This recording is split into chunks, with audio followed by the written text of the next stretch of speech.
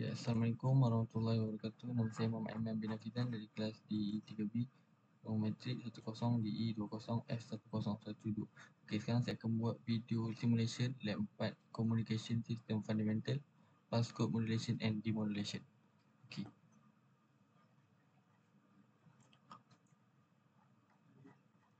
Okey. Uh, prosedurnya set the monitoring signal amplitude to 6 volt and frequency to 1000 Hz 1 kHz okey amplitude kepada 6 volt dan frekuensi kepada 1000 Hz okey seterusnya uh, sampling panel set the sampling frequency to 2000 2.6 kHz okey sampling frequency tu uh, kepada 2.2600 Hz yang seterusnya uh, add the quantization panel set the value to set the value of n bit to 3 okay.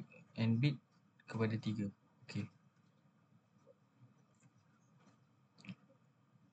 okay okay press the button calculate okay, tekan calculate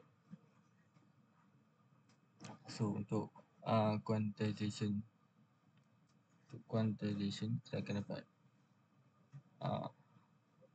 graph macam ni and kita akan dapat waveform dan kita akan dapat plot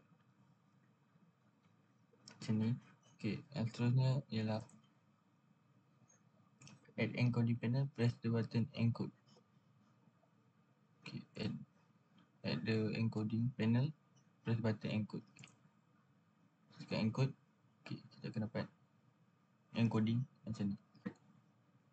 Ok yang seterusnya at demulated output. Press the button demulate the demulated output will be shown show in, in x. Okay. Untuk demulated output. Okay kita tekan demulated so demulated graph. Demulate so demulate uh, demulate uh, signal akan dapat macam ni. Okay. Uh, okay jadi uh, untuk uh, quantization quantization dan demulated output kita boleh uh, lukis uh, kita boleh lukis dan letak dalam graph. Letak dalam sheet. Okay, itu saja daripada saya. Sekian terima kasih